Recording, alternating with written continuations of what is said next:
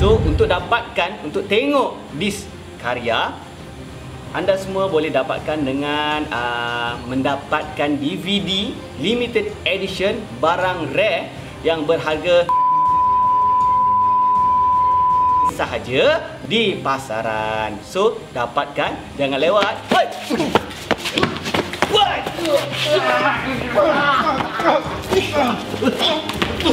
Dapatkan, dapatkan.